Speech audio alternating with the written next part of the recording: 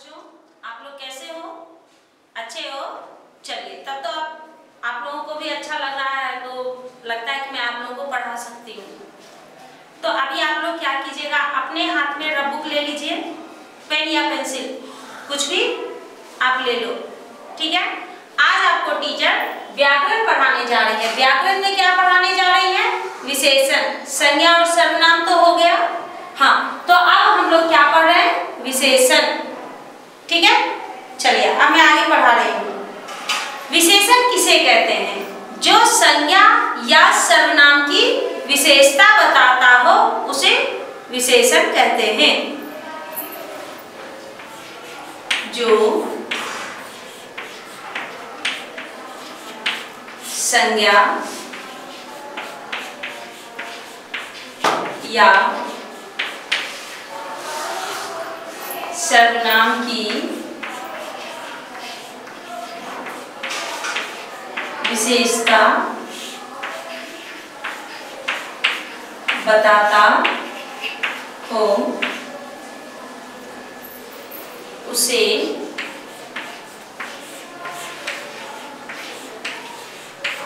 विशेषण कहते हैं।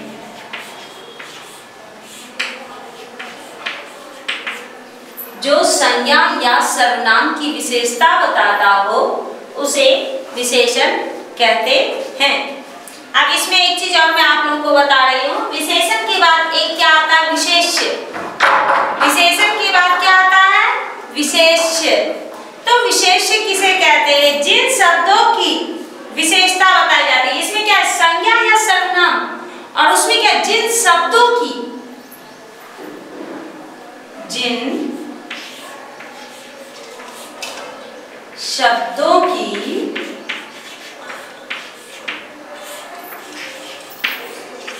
विशेषता बता। जिन शब्दों की विशेषता बताई जाए जाए, उसे विशेष्य कहते हैं। उसे क्या कहते हैं? विशेष्य कहते हैं। अब आप लोगों को लग रहा होगा कि टीचर विशेषण और विशेष्य क्या है? है ना? विशेषण और विशेष्य क्या है? ये है विशेषण और ये है आपका विशेष। इन दोनों में क्या अंतर है? अब विशेषण में क्या है? संज्ञा या सर्वनाम की विशेषता। यानी कि सीता सुंदर है, गीता रोती है, ये क्या है? उसकी विशेषता बताई जा रही है। लेकिन अगर कहा जाए कि उसका कुर्ता नीले रंग का है, उसका कुर्ता नीले रंग का, वह सुंदर नहीं है, या वो उसका रंग नीला नहीं है बल्कि उसका कुर्ता यानी शब्द उसका कुर्ता उसका क्या हो गया सर्वनाम हो गया ठीक है उसका कुर्ता नीले रंग का है वो उसकी विशेषता बता रहा है किसकी? शब्द की, ना कि संज्ञा या सर्वनाम की। ठीक ना? यहाँ शब्द शब्द क्या है? कुर्ता। कुर्ता जो है वह नीले रंग का है। तो क्या हो गया? विशेष। ठीक है? समझ में आया विशेषण किसे कहते हैं और विशेष किसे कहते हैं विशेषण में हो गया संज्ञा या सर्वनाम की जो विशेषता बताता हो उसे विशेषण कहते हैं ठीक ना संज्ञा या सर्वनाम की जो विशेषता बताता हो उसे कहते हैं। लेकिन विशेष किसे कहते हैं? जो शब्द की विशेषता बताता हो, जो शब्द की विशेषता बताता हो, उसे विशेष कहते हैं। अब जैसे आप लोग, अभी मैंने बताया कि विशेषण में हम लोग क्या लिखते हैं? वह सुंदर है ठीक है चाहे सीता सीता सुंदर है। ठीक है? सीता सुंदर है। इसमें क्या है? ये संज्ञा है। और ये क्या है? उसकी विशेषता ये क्या हो जाएगा? विशेषण। ये क्या हो जाएगा? विशेषण। ठीक है?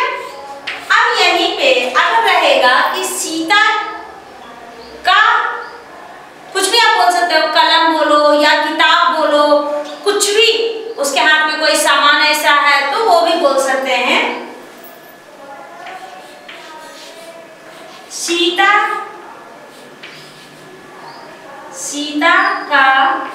कुर्ता लाल है। लाल है। अब इसमें आप लोग देखो, कुर ये कुर्ता जो है, ये लाल। कुर्ता की विशेषता बता रहा है, ना कि सीता की? किसकी विशेषता बता रहा है? कुर्ता की। इसलिए ये क्या हो जाएगा? विशेष ये क्या हो जाएगा विशेष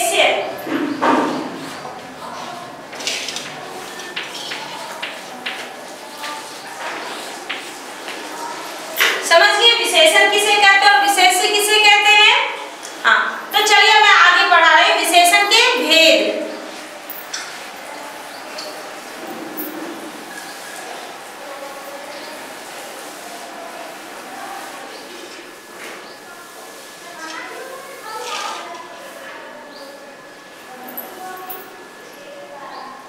विशेषण के विशेषण के चार भेद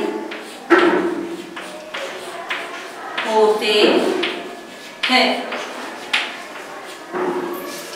विशेषण के कितने भेद होते हैं? विशेषण के चार भेद होते हैं। सबसे पहला क्या है? गुणवाचक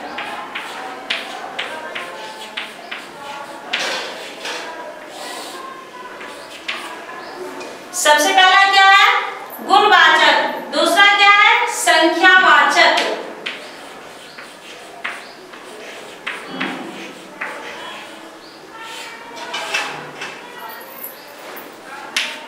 दूसरा क्या हो गया संख्या वाचक तीसरा क्या है परिमाण वाचक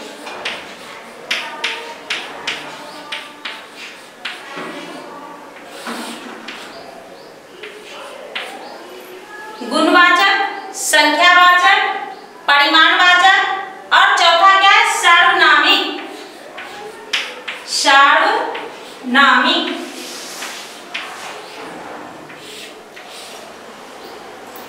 पहला क्या हो गया?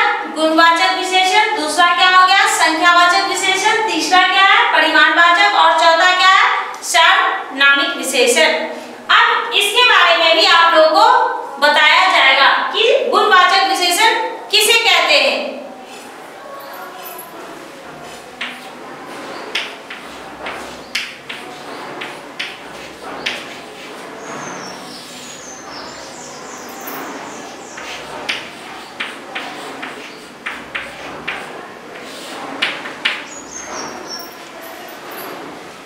संज्ञा या सर्वनाम के किसी गुण आकार रूप इत्यादि का ज्ञान कराने वाले शब्द जो होते हैं उसे गुणवाचक विशेषण कहते हैं संज्ञा या सर्वनाम के किसी भी गुण आकार रूप संज्ञा या सर्वनाम के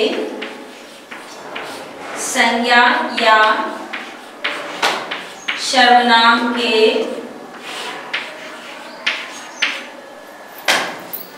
संज्ञा या सर्वनाम के किसी गुण,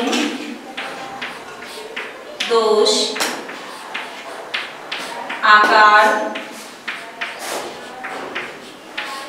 रूप आदि। संज्ञा या सर्वनाम के किसी गुण, दोष आकार, रूप आदि का ज्ञान कराने वाले आदि का ज्ञान या बोध, ज्ञान या बोध कराने वाले कराने वाले शब्द को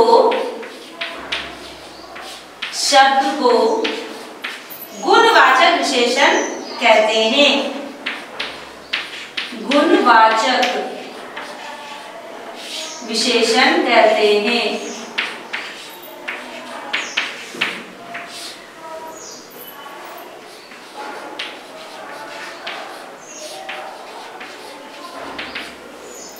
गुणवाचक विशेषण कहते हैं। अब जैसे इसमें आ सकता है अच्छा बुरा, कुछ भी आप बोल सकते हैं। काला, छोटा, खट्टा, कठोर, सुगंधित। या फिर कोई दिशा का भी आप नाम दीजिएगा। दिशा का भी अगर ज्ञान कराता हो तो उसे गुणवाचक विशेषण कहते हैं। अब दूसरा हमारा क्या है? संख्यावाचक विशेषण। आप लोगों ने इसे समझा? संज्ञा या सर्वनाम के किसी भी गुण, दोष, रूप, दिशा आदि का बोध कराने वाले शब्द को क्या कहते हैं? गुणवाचक विशेषण क्या कहते हैं गुणवाचक विशेषण। अब हम लोग चलेंगे संख्यावाचक पे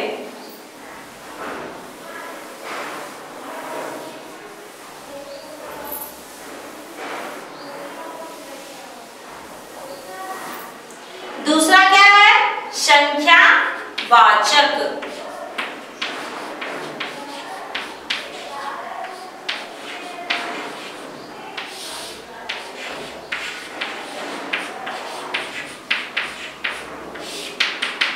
संख्यावाचक विशेषण किसे कहते हैं? संज्ञा या सर्वनाम की संख्या संबंधी विशेषता बताने वाले शब्द को संख्यावाचक विशेषण कहते हैं।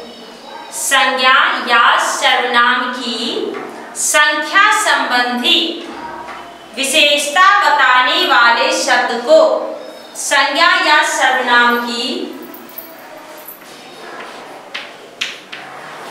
संज्ञा या सर्वनाम की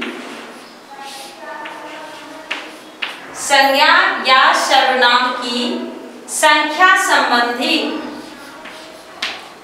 संख्या संबंधी। विशेषता, संख्या संबंधी। विशेषता विशेषता बताने वाले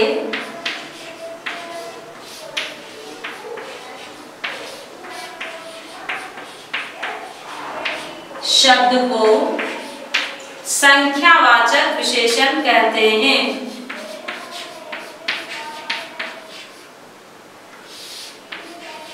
संख्यावाचक विशेषण कहते हैं।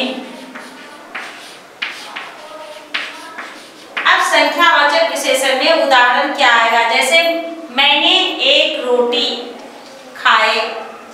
मैंने जैसे, मैंने एक रोटी खाई अब इसमें क्या है एक रोटी ये क्या है संख्यावाचक अगर यहाँ रहता है दो तीन चार पाँच तो वो क्या है संख्या एक दो तीन चार पाँच क्या है संख्या है तो ये क्या हो गया संख्यावाचक यानी कि संख्यावाचक विशेषण पहचानने में कुछ आप लोगों को दिक्कत नहीं होनी चाहिए संख्यावाचक विशेषण में क्या आ जाता है एक रोटी अगर यहाँ पे रहता मैंने दो केले खाए मैंने दो केले खाए तो वो क्या हो जाएगा संख्यावाचक विशेषण। गुणवाचक में क्या हो गया? उसके गुण को बताया गया। और संख्यावाचक में क्या हो गया? कि उसमें संख्या बताई जा रही है। अब हम लोग चलेंगे परिमाणवाचक विशेषण। अब कहा हम लोग चलेंगे? परिमाणवाचक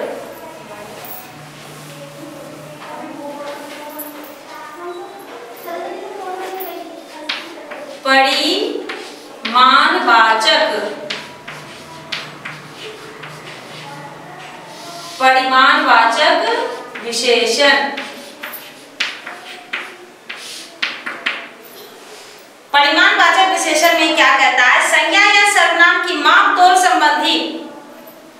संज्ञा या सर्वनाम की संज्ञा या सर्वनाम की माप तोल, माप तोल संबंधी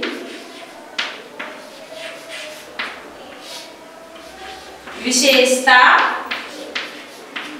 बताई जाए बताई जाए, उसे परिमाणवाचक विशेषण कहते हैं। परिमाण वाचक विशेषण कहते हैं।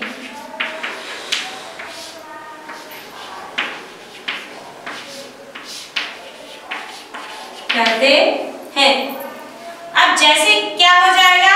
हलवाई ने दो किलो दूध मंगवाया। हलवाई ने दो किलो दूध मंगवाया। तो दूध क्या है?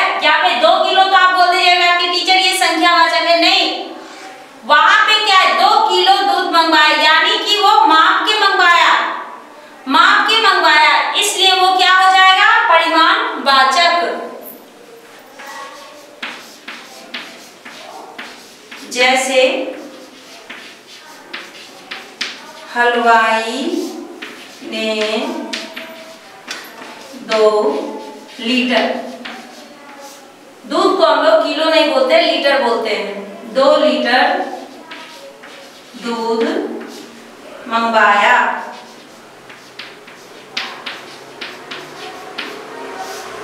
ये क्या हो गया आपका? परिमाण वाचक।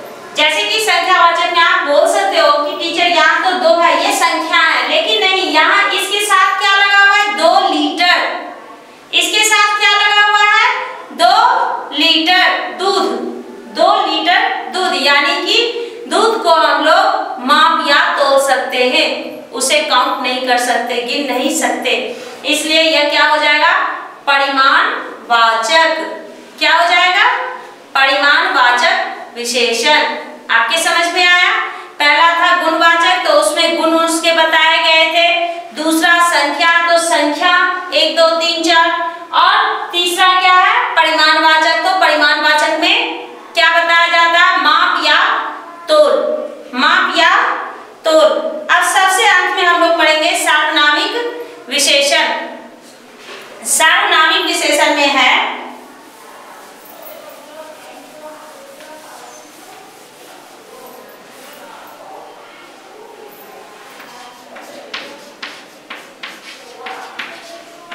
सार्वनामिक विशेषण।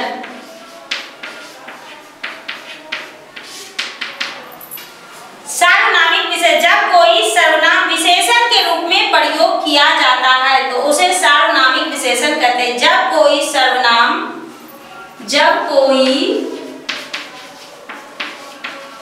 सर्वनाम